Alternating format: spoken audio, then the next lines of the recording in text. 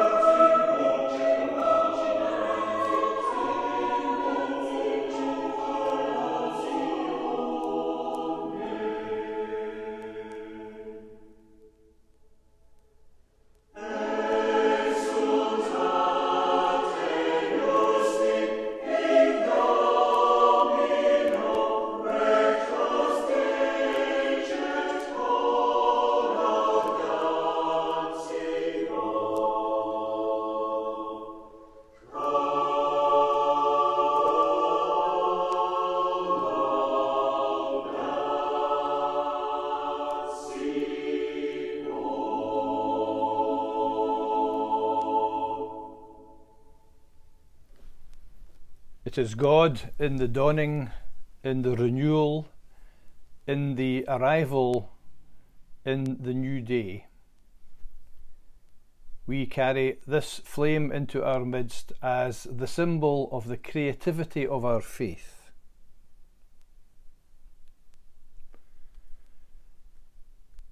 Don't look for holy and righteous men and women who wear halos and are ringed with light you won't find many. Look instead at our neighbour. Look instead at the tired carers and worried parents. Look instead at ourselves and see in the eyes the saints of God. Today's St. Columba's, today's St. Magnus's, today's St. Andrew's. Ordinary people with the greatest commandment ingrained in their souls, who intuitively love and share that love with and for the world. This platform is full of God's saints May God's stillness and peace rest upon us. May God's presence permeate all our living. Amen.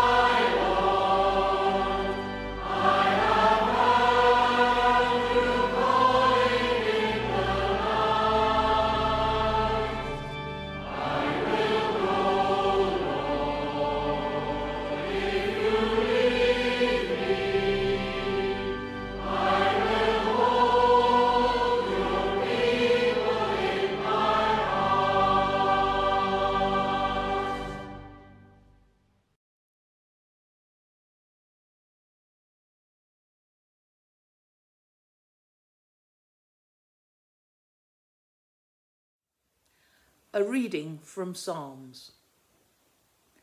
As for me, I'll always have hope, and I will add to all your praises. My lips will proclaim your deeds of justice and salvation all day long, even though they are innumerable. O God, I will enter your mighty temple and there proclaim your justice. You taught me when I was young, and I am still proclaiming your marvels. Now that I am old and grey, O God, do not desert me. Let me live to tell the coming generation about your strength and power. Your justice, O God, is higher than the heavens. You have done great things. Who is comparable to you? And so, on the lyre, I'll praise you, my ever faithful God. I will play the harp in your honour, Holy One of Israel. My lips will sing for joy while I play for you. My whole being, which you have redeemed, will sing. And all day long my tongue will speak of your beneficence. Oh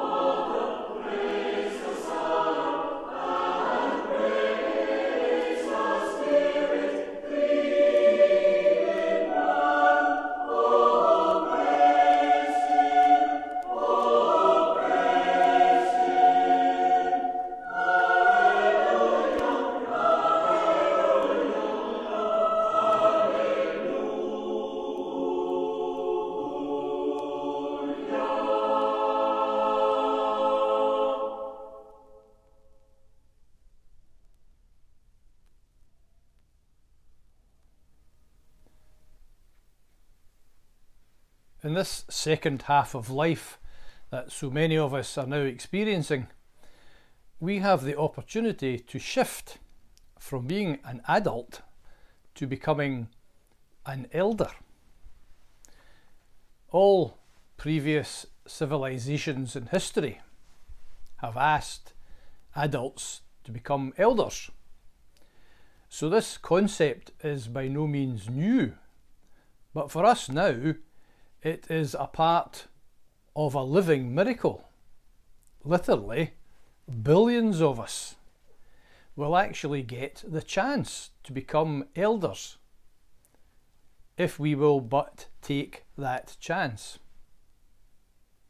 Think for a moment of what the world will be like if that miracle and all the wonder, awe, and good work it implies actually takes place.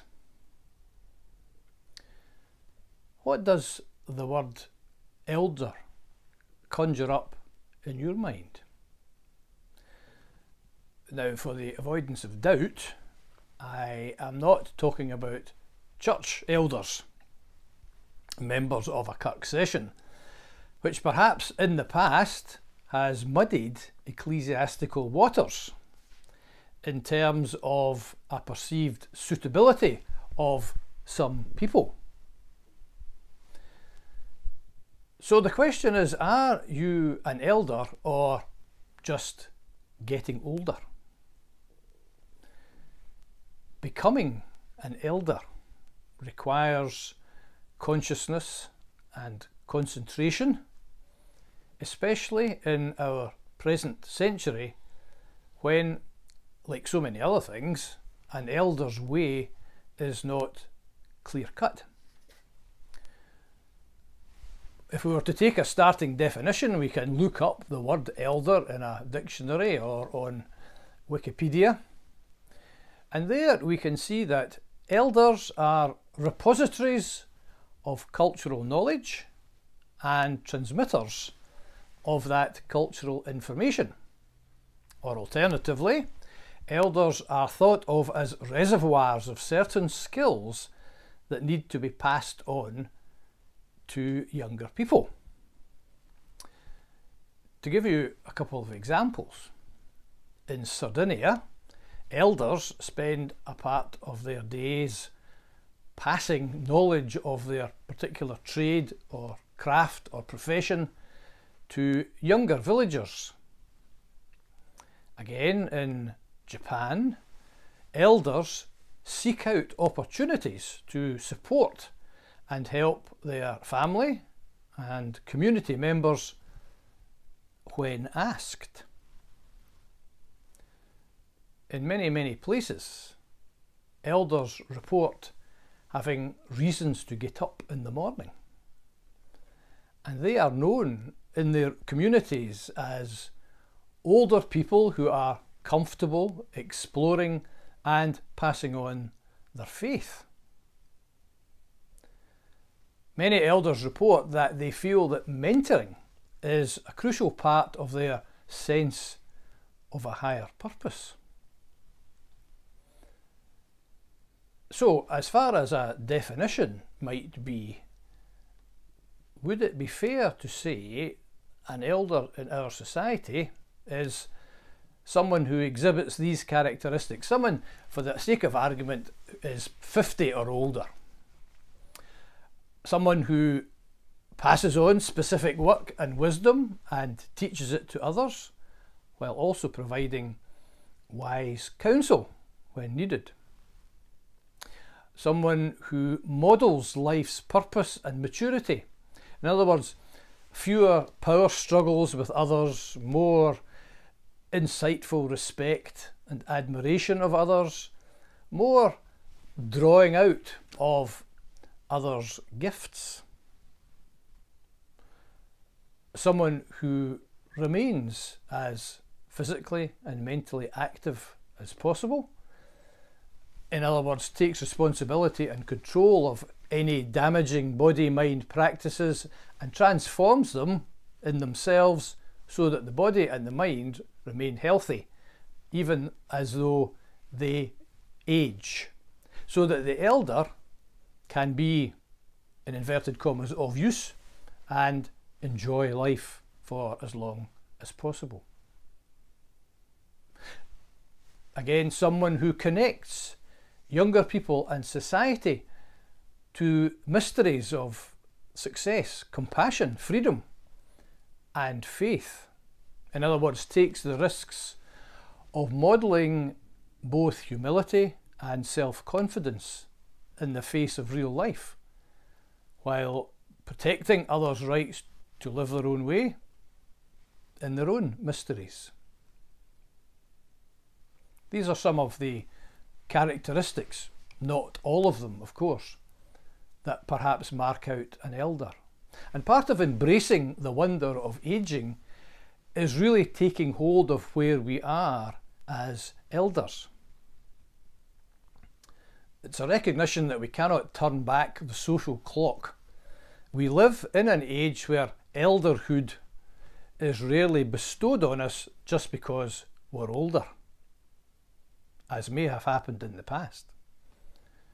We know that our culture focuses more on young people and middle age journeys, and we are challenged as elders to be visible. Of course, and we often do, we can complain about this or that. Or we can take our own responsibility for it and rebalance this course across all the generations. We can, and perhaps we must, concentrate so fully on what an elder is now today, and we support one another in our thinking in our acting, in our creating, in our serving of others, and yes, in our enjoying life visibly and in taking our place. This taking our place is part of the redefinition of age that we can make happen. By embracing the wonder of aging, we can embrace a new role in the family or the community or a group in the marketplace and in the world in general. A life position we must not passively wait for people in today's society to give to us. So each time we maybe volunteer at a child's school or teach a youngster a craft or a skill each time we provide insight to others or lead, guide, and help younger people sustain life and vision, that is us being an elder. Becoming an elder means realizing that a person can still act like a child, regardless of their age, and not an elder. A person can complain constantly which an elder probably ought not to do if he or she is going to be respected as an elder. Again, a person can spend his or her last decades of life embroiled in power struggles with others, which an elder does not do. An older person can withdraw withdraw from family and withdraw from community, but which an elder does not do. Ultimately, the glory, if that's not too strong a word, the glory of an elder is the choosing to take hold of freedom. And this kind of freedom is not about escape or escapism. Rather, it's the next stage of growth the next mature kind of love. To become an elder in our society, as we know, is not as cut and dried as it was in the past, or as it may be elsewhere, or might have been in our heads. But it is a maturity on which family, community, and even the spirit of our species depend.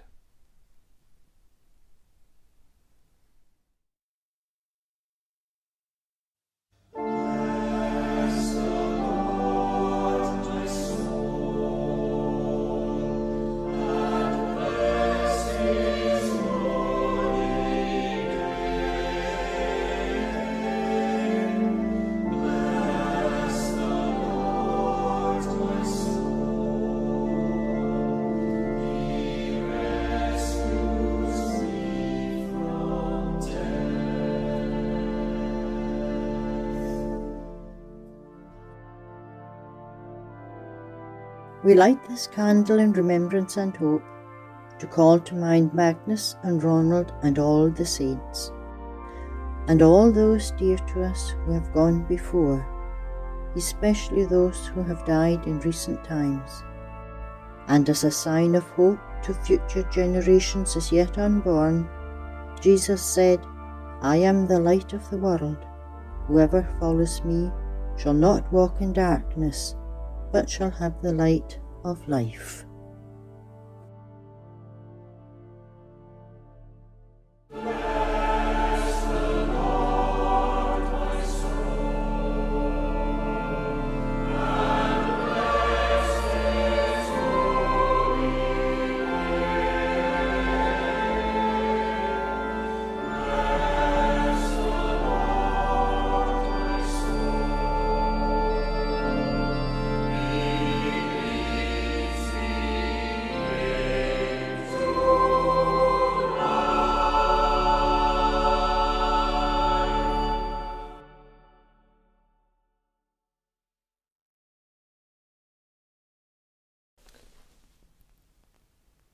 Prayer. Is this taking it too far? Too far from the familiar, the comfortable and predictable? Better the devil we know than risk uncharted territory. Bring back the days when seats were full to bursting on a Sunday and children filled buses bound for summer picnics. When the minister knew everyone's name because he visited them all. And woe betide anyone who uttered that bad word, change. We have taken it so far.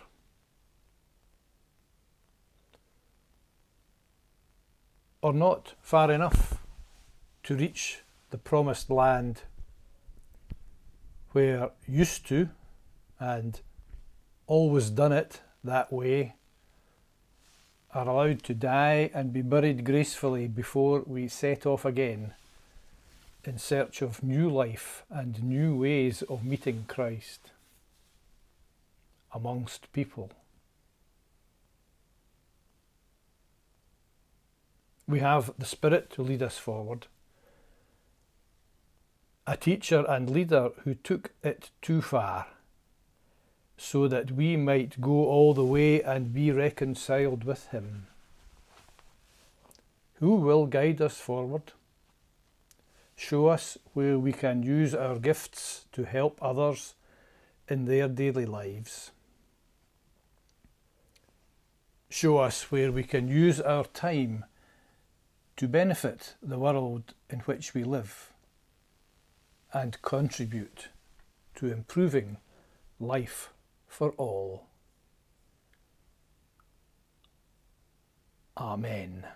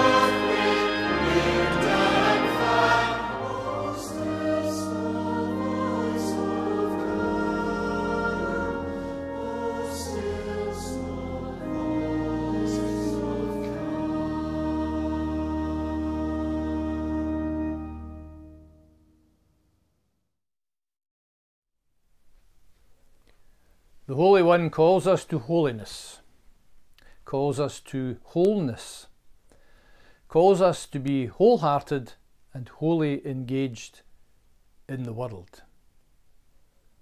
The Holy One calls us to journey to places of milk and honey and places of thirst and hunger. As we journey, leave behind the worries and regrets, leave behind the rose tinted glasses. Venture forward into places familiar and unknown. Share Christ's story of liberating, life giving love. And may you stay safe in the way of Christ, and may you be blessed by His Spirit, today and always. Amen.